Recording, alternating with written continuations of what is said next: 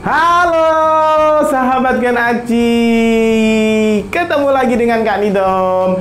Hari ini Kak Nidom akan menjelaskan bagaimana cara menyederhanakan pecahan. Eits, jangan lupa subscribe dulu. Bagi yang belum subscribe, klik tombol merah yang di bawah. Sesuai yang Kak Nidom sampaikan tadi Kak Nidom mau menjelaskan bagaimana cara menyederhanakan pecahan.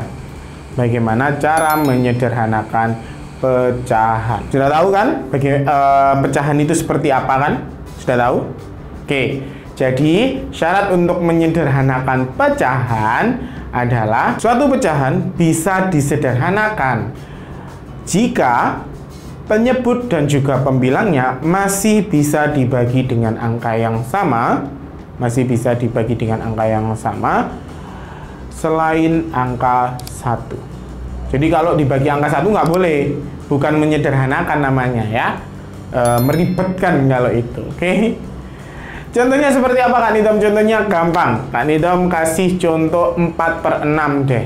4 per 6. Nah, kenapa sih nggak boleh dibagi satu? Kalau dibagi satu semua angka pasti bisa.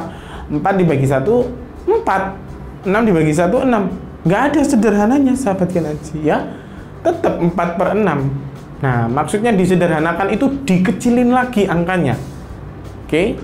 Caranya dibagi dengan angka yang sama. Jadi penyebutnya dibagi dengan angka yang sama, pembilangnya juga di, dibagi dengan angka yang sama. Contoh, tadi 4 per 6. Nah, kita cari nih. 4 dibagi 2 bisa? Bisa. Oke. Kalau 6, 6 dibagi 2, apakah bisa? Bisa.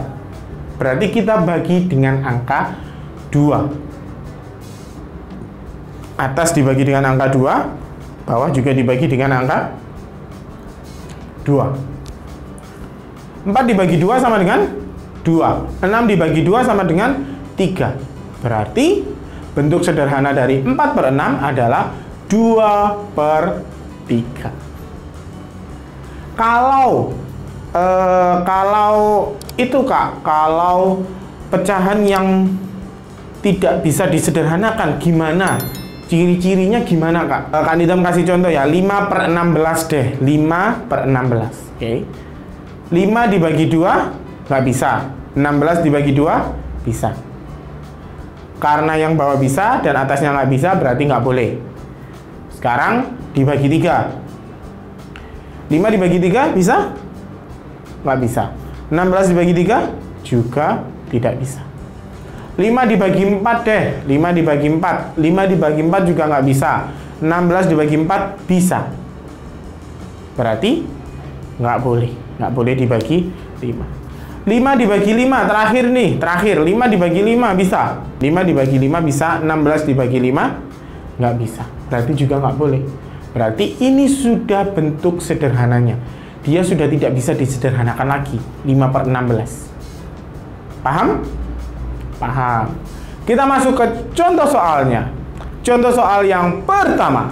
18 per 30 18 per 30 di sini Kak Nitam akan menjelaskan ada dua cara bagaimana cara kita menyederhanakan pecahan berikut. Yang pertama kita cari FPB-nya dulu. Gimana cara nyari FPB Gampang. Kak Nanda sudah menjelaskan di video sebelumnya gimana cari cara nyari KPK, gimana nyari FPB dan sebagainya. Ya. KPK, KPK kelipatan uh, kelipatan apa yo? Nah, itu KPK. Coba nanti dilihat videonya Kak Nanda. Ini Kak Nidom langsung persingkat aja ya. Kalau nyari dengan FPB berarti nanti uh, kita juga menggunakan uh, pohon bilangan dan sebagainya. Nah, berarti ketemunya 6. Oke, ketemunya 6 kalau mencari dengan cara FPP. 18 dibagi 6 bisa? Bisa. 30 dibagi 6? Bisa. 18 dibagi 6 sama dengan 3. 30 dibagi 6 sama dengan 5. Berarti bentuk sederhana dari 18 per 30 sama dengan 3 per 5. Itu kalau kalian mau nyari dengan cara FPP. Kalau mau nyari dengan e, cara yang kedua gimana kak? Cara yang kedua, kita nanti akan menggunakan bilangan prima. Bilangan prima itu seperti apa, Kak? Bilangan prima itu e, nanti Kak Nidom jelaskan ya. Ini Kak Nidom kasih kasarannya. Jadi 2, 3, 5, dan seterusnya. Mungkin di video selanjutnya Kak Nidom mau menjelaskan tentang bilangan. Kan ada bilangan bulat, bilangan caca, bilangan prima, dan sebagainya. Eh, oh iya, nanti Kak Nidom jelaskan deh. Oke, 18 per 30 dibagi dulu, dibagi 2 18 bagi 2 bisa? Bisa. 30 dibagi 2? Bisa. 18 dibagi 2 sama dengan 9. 30 bagi 2? 15. Sekarang kita bagi. 9 dibagi 2 bisa? Nggak bisa. 15 bagi 2? Juga nggak bisa. 9 dibagi 3. Bisa? Bisa. 15 dibagi 3? Bisa.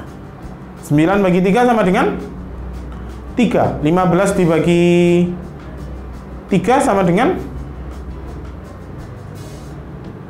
5 berarti jawabannya sama ya seperti yang tadi Kak Nidom menggunakan cara pertama.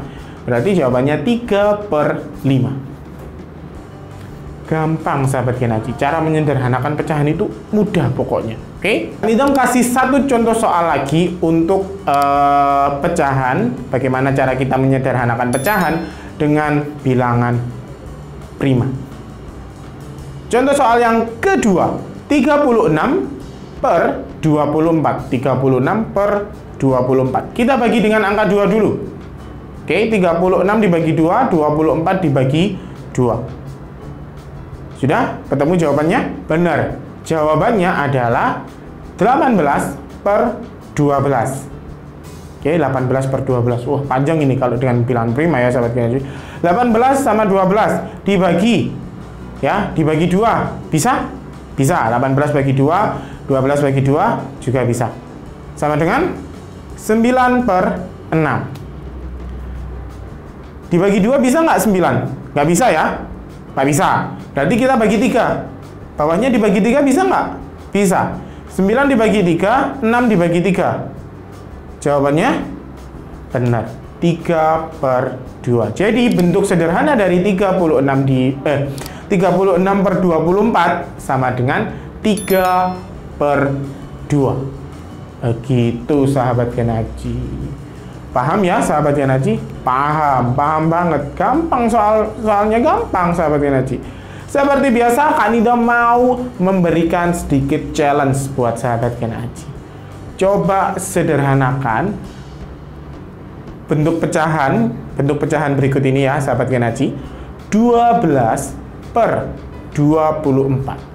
12 per 24. Berapakah bentuk sederhana dari 12 per 24? Tulis jawabannya di kolom komentar. Jangan lupa like, share, uh, dan juga komen sahabat Kenaci, oke? Okay?